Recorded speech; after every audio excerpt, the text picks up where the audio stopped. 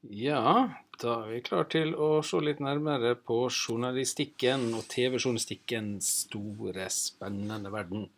Nå er det viktig at dere ser mye TV, og ser TV-journalistikk, altså nyheter, eh, for å få et bedre innblikk i hva denne sjangeren her har å by på, men også hva krav som eh, vi må prøve å nå. Denne lille powerpointen her, som er litt lengre enn vi har tenkt å bruke i dag, den tar utgangspunkt i det kompendiet som dere fikk utdelt med meg fysisk. TV-journalistikk av Olav Njåstad. Eh, og vi starta ganske tidlig det kapittel tre som eh, dere har fått utdelt der, altså.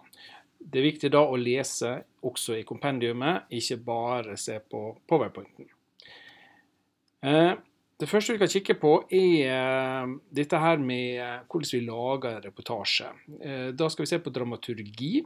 Og det som er spesielt med TV-reportasje, er at det er lite rom for å eksperimentere så voldsomt mye. Der er noen regler vi må følge, og der er noen fortellergrep vi må bruke. og der er også noen oppgaver som tilhører den oppsettet vi har. Den første er jo at vi skal vekke interesse, og det kjenner vi jo igjen fra annen del av journalistikken nå. Vi skal ut med informasjon, viktig informasjon, og vi skal ha en ganske tydelig og klar slutt uh, på reportasjen vår. Uh, dette her kan vi da kalle for et anslag, vekke interesse. En fordypning, altså få mer kunnskap. Og så et sluttpoeng som gjør at uh, denne her har en tydelig slutt. da. Eh, og dette anslaget her, det starta faktisk før TV-reportasjen starta. Det starta allerede ved introen i studio, som gjerne nyhetsoppleseren leser. da. I eh, NRK så bruker vi en litt annet begrep, og det er APUS. Og her er det jo bokstaver uh, som er satt sammen, uh, og da tenker vi på en anslag, som du ser overfor, en presentasjon, en utvikling av historien, og S-en den står for slutt eller sluttpoeng. Så Apus har dere nok vært borti tidligere i løpet av disse tre åra her, da. Arbeidsprosessen også har tradisjonelt hatt en tredelt uh, funksjon. Uh, og uh, da ser vi på idéutviklingene før vi går ut på opptak. Så er vi ute og gjør det vi skal av opptak til saken. Og så er det da å se gjennom materialet eller påsyn og redigering til slutt. I alle disse fasene her så er det viktig at journalisten er med. Den skal stille spørsmåla. Den må også forberede deg, Vær være med på opptaket og gjør også eh, store deler av redigeringa til slutt. Dvs. Si, tradisjonelt så har man da hatt fotografen som gjør opptaket, som er teknisk ansvarlig for lyd og bilde, som gjør det tekniske med selve klippinga, mens eh, journalisten er den som da avgjør mye av eh, hvordan dette skal se ut, og har det endelige eh, bestemmelser, da, hvis man er uenig. Det er også journalisten som leser inn kommentarene som skal på den saken. da. I tillegg så er det jo idéutvikling er jo ikke en journalist alene. Vi trenger en redaksjon. Eh, vi har ofte en redaktør, eller iallfall en vaktsjef, som da har ansvaret for den sendinga, eh, og som da avgjør eh, hvordan skal dette her se ut. Og i et redaksjonsmøte så vil man gjerne spille litt ball fram og tilbake til man ender opp en vinkling som passer godt. Og I løpet av eh, dagen etter opptak osv. Så, videre, så kan man ende med at man må justere litt på planene. I verste fall helt fram til uh, man er endelig ferdig redigert. Og Her ser dere vaktsjefen kommer inn. Her kommer fotografen og redigerer. Ofte så kan det være slik at fotograf og redigerer er én og samme person. Unntaket er sånn som i Dagsrevyen og eh, TV 2 Nyhetene, der man har egne folk som redigerer ofte, mens fotografen da må fullfarte ut på et nytt oppdrag med en ny journalist istedenfor. Uh, og um, Det blir mer og mer vanlig at journalisten er fotografen òg, altså man jobber alene. Annet NRK eh, i Kristiansund de har eh, da en journalist som er både fotograf og redigerer. Eh, og han har også teknikken hvis han direkte på sendinga live og gjør intervju og alt alene. Det blir noe mer og mer vanlig, rett og slett. Og Det er derfor vi må kunne litt om alt når vi jobber med TV-reportasje. Skal vi se litt nærmere på idéutviklinga, eh, så er det slik at eh, det er ikke alt som kan bli til en TV-sak. Det er ikke alt som kan bli til nyheter. Da må vi tenke nyhetsverdi, og vi må tenke innhold. Og det er det som bestemmer hva som blir en TV-reportasje. Det er noen typer innhold som ikke passer inn. Eh, noen saker er mye bedre i avis. Og noen saker er kanskje også bedre i radio, mens eh, på TV så må vi tenke på at det er en del saker vi ikke kan ta.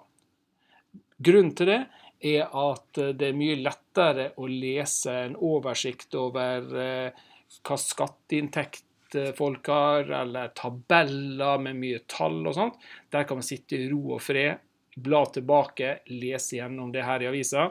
Mens når vi kommer til TV og radioer, så forsvinner denne kommentaren så lett bort, og vi husker såpass lite av det som har blitt sagt, at vi blir nødt til eh, å forenkle veldig det vi sier. Eh, og vi må forenkle også hvordan vi forteller historien, eh, slik at folk skjønner hva vi ønsker å fortelle. Vi har det vi kaller tettere på som et utgangspunkt, og så kommer nærmest mulig den som blir berørt av en hendelse eller en sak. Det var akkurat det samme som vi øvde oss på når vi laga nettavis i fjor. Dere husker kanskje det? Det å komme nettere, tettere på eh, den som er berørt, men også hvem er det som kan uttale som en sak det er ikke på en måte vaskekona eller eh, vaktmesteren eh, i eh, Molde kommune som nødvendigvis er den rette å spørre hvis vi eh, skal vite hva ordføreren mener. Så det må vi tenke litt på. Og eh, Den klassiske innenfor denne er jo denne her som kommer opp nå. Let the people closest to the story tell it.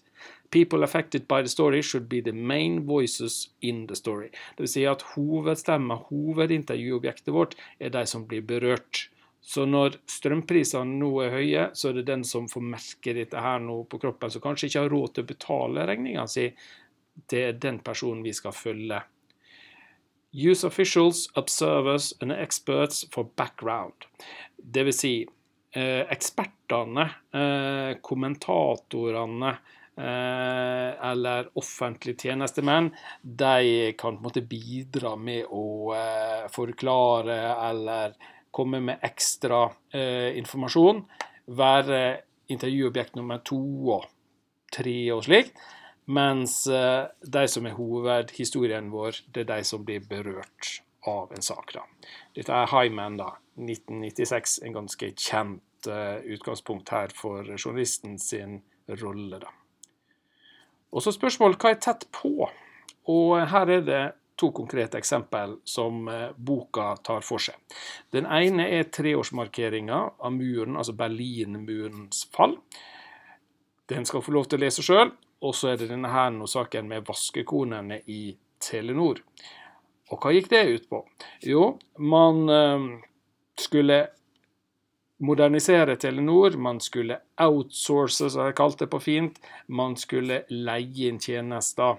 Og typiske tjenester man skulle leie inn som man ikke trengte å ha ansatt eh, egne folk til, det var det å vaske og renhold. Uh, og det mente man at det kunne man da spare penger på. Og Journalisten han går ut på oppdrag og tenker som så at OK, jeg vil følge ei av disse som mister jobben. Det er det, den som er den som er skikkelig berørt av den saken her.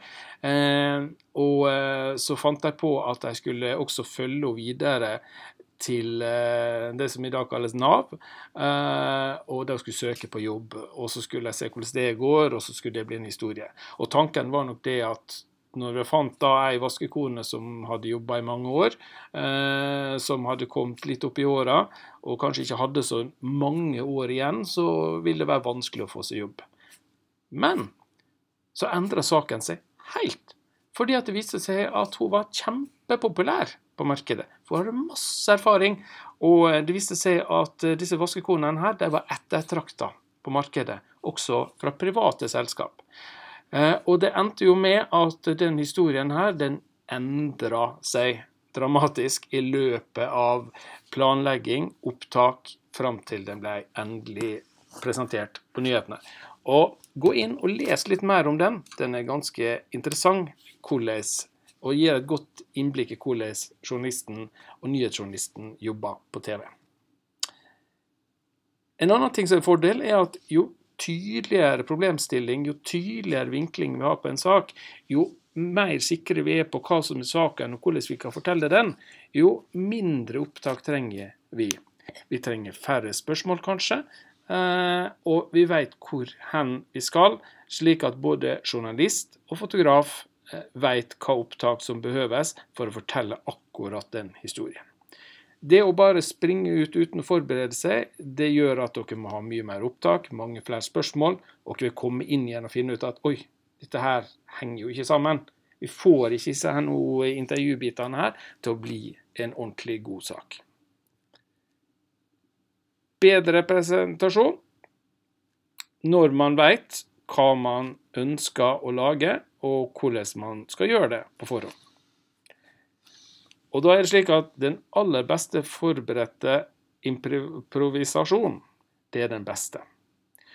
Så man kan improvisere, men jo bedre man har forberedt det som skal skje, jo bedre. Så de som tilsynelatende står på TV og kanskje på Dagsrevyen og ute på direkte og intervjuer folk 'Oi, her kommer det noen', osv. 'Nå skal vi snakke litt med deg', så er det ikke slik at de ikke har avtalt dette her på forhånd. Der er det ofte slik at vi tenker at uh, dette her skjedde jo bare der og da. Og veldig mange TV-format er slik i dag at det skal virke nesten som jeg kommer på det. Sånn som Nytt på nytt, f.eks. Vi bare kom på den morsomme vitsen der, men den er faktisk øvd inn, skrevet ned av egne tekstforfattere, og de har jobba mye med dette her i forkant. Så den best forberedte improvisasjonen er den beste. Ja. Denne boka og kompendiumet den gir først og fremst en veiledning i hvordan dere skal lage TV-reportasje, og hvordan dere jobber praktisk med TV-nyheter. Og eh, Vi så på eh, research også, og den er i tre deler. Forarbeid, opptaksfase og påsyn redigering. Dere husker kanskje denne her fra i stad. Hva vil dere se? Jo, her er det en del råd som forfatteren gir dere i forhold til akkurat disse her tre fasene. Hva er det lurt å tenke på i forarbeid? Hva er det lurt å tenke på ute på opptak? Og hva er det lurt å tenke på når dere skal redigere og sette sammen? Da skal dere gå inn på side 68 og 72 for å finne akkurat disse rådene.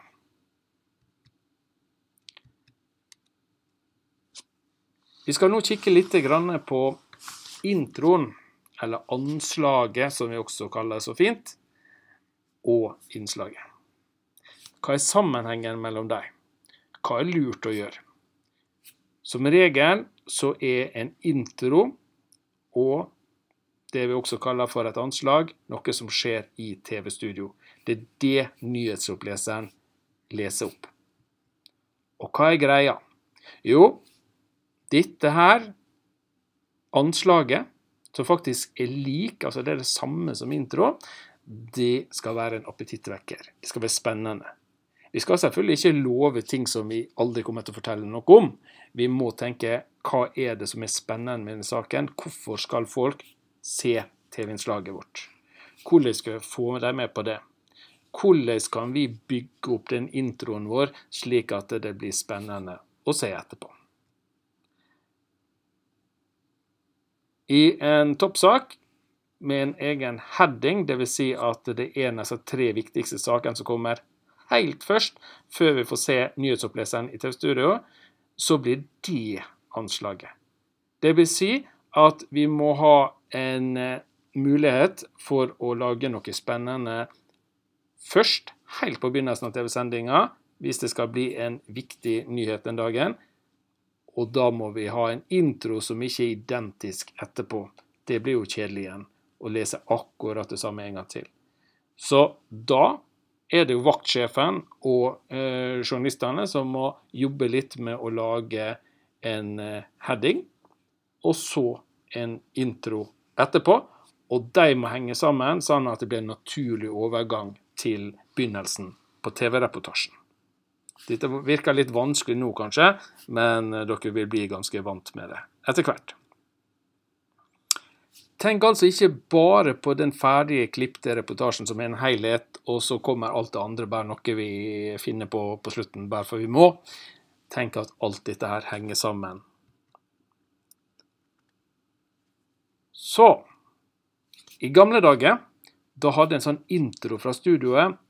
Den måtte inneholde alt det vesentligste i saken. Alt det viktigste. Fordi det skjedde ganske ofte, eh, om vi går tilbake til 60-tallet, 50-tallet, dels 70-tallet, at plutselig så virka ikke båndmaskiner eller teknikken på en måte svikta, sånn at folk fikk ikke sett innslaget. Da måtte denne korte studiointroen inneholde alt det viktigste, sånn at folk fikk med seg nyheten likevel. I dag så er ikke det så viktig. Vi får det til, eh, og vi prøver heller å eh, få folk interessert, sånn at de skal se, og så får de vite mer når de har sett ferdig reportasjen. Og da snakker vi om en modell med fallende nyhetsverdi. Det viktigste først, mindre og mindre viktig nedover. Og så har vi sjansen, hvis vi skal kutte i saken, vi må ha den litt kortere for å passe inn i nyhetssendinga vår, så kan vi kutte den siste biten av TV-reportasjen uten at folk går glipp av noe veldig viktig. Er dere med på den? Omvendte trekanten.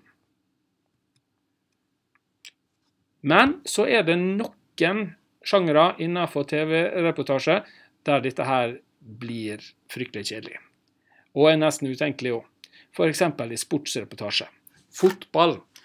Det er ikke alltid så interessant å vite akkurat hvordan det gikk. Eh, og så eh, skal vi lage en lang reportasje om hva føler du nå etterpå.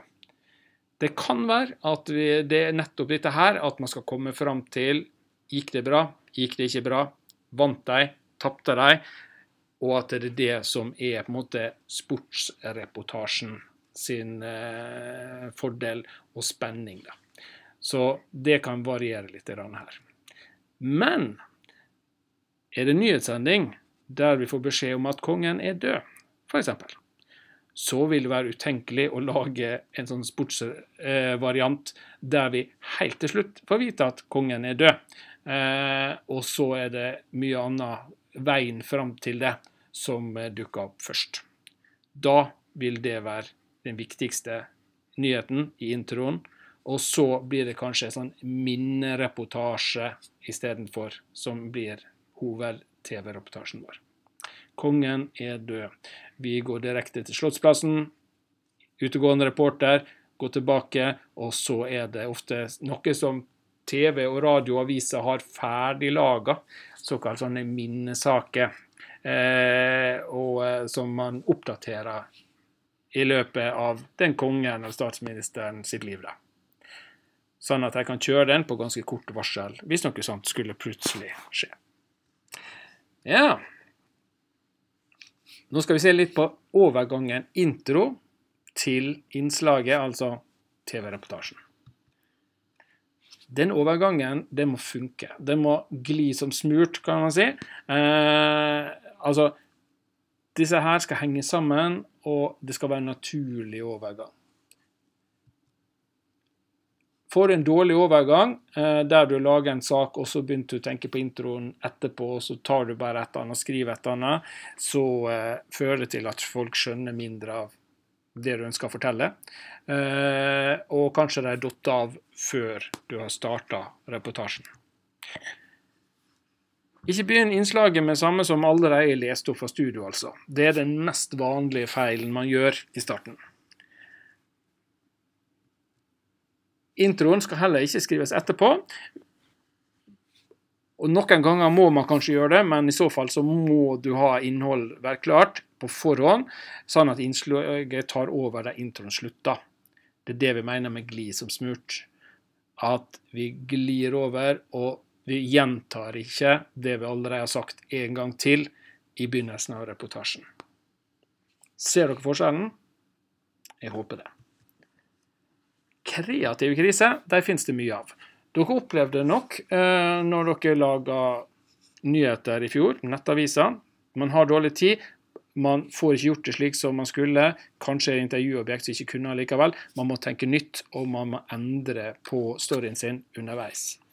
Og i denne boka her, den tar utgangspunkt i at sånne kreative kriser de skal oppstå i overgangen mellom disse ulike fasene. Og da tenker vi på de tre fasene, der du forbereder, du gjør opptak og du redigerer. Og knapphet på tid, det gir faktisk kreativitet. Jo bedre tid du, får, det betyr ikke at det blir en bedre TV-reportasje nødvendigvis. Og den plassen denne krisa her oppstår oftest, det er når vi skal redigere en ferdig sak. Fordi at tida er kort, Kanskje mangla noen ideelle bilder. Kanskje var det noen bilder som ble dårlig lyd på. Noen som ble litt for blå til at de kan brukes. Eller at vi ikke fikk akkurat de svarene som vi ønska oss. Da må vi tenke på nytt. Og målet vårt, som alltid er der, som vi faktisk ikke kan si at ja, jeg rakk jo ikke å bli helt ferdig med Det holder jeg ikke. Ikke i nyhetsverden og TV-verden. Du skal Vær klar med saken din, uansett hvor dårlig tid du har, til den tida nyhetssendinga starter. Dette tvinger deg til å se opptakene på en helt ny måte, og ehm, du må ofte faktisk fortelle historien annerledes for å klare å løse oppdraget ditt. Ja, da skal vi ta det aller siste her eh, for denne gangen, og det er det vi kaller å visualisere. Vi sa tidligere at du må tettest mulig innpå for å få de gode intervjuene, for å se hvem som blir berørt, og for å skape en historie som seerne er interessert i å se etterpå. Du må også dit for å få de beste bildene. Fordi det finnes alltid noen som er direkte berørt. Og da sier vi at det finnes alltid personer ved sakens kjerne. Altså hovedkjerna i hva dette her er, handler om. Og der det er personer ved sakens kjerne, altså tettest mulig på, så er det også ulike syn og det er ulike oppfatninger av saka. Den som sitter og eh, har bestemt og vedtatt ei lov, eller den som sitter i regjering og skal gjennomføre et lovforslag, den som uh, har eh, skrevet og forska på noe, de kan ha en helt annen oppfatning av saken enn den som opplever å bli berørt av den. Vil si, en politiker kan være veldig fornøyd med det de har fått til av overføring av penger til folk som får veldig dyr strømregning i januar 2022. Mens for den som får regninga, så kan det være like vanskelig å betale allikevel. Så det er ikke slik at eh, alle er enig. Det er for og det er imot, og vi skal alltid ha flere kilder å forholde oss til. Sånn var det i avis, sånn var det i radio, og slik er det faktisk i TV også. Og tett innpå saka og aktørene så kan vi finne ofre, og vi kan finne observatører. Og det er her vi oftest finner bildemulighetene og situasjoner som forteller oss noe om saken. Det er den gamle dama som sitter og gråter på stolen sitt hjemme og ikke får seg sykehjemsplassen. Det kan være alenemora som har fått 9000 kroner å betale i strømregning, men har ikke pengene. Har ingenting på bankkonto til å klare å betale forpliktelsene sine. Det er der vi først og fremst får følelsene i spill, også seerne.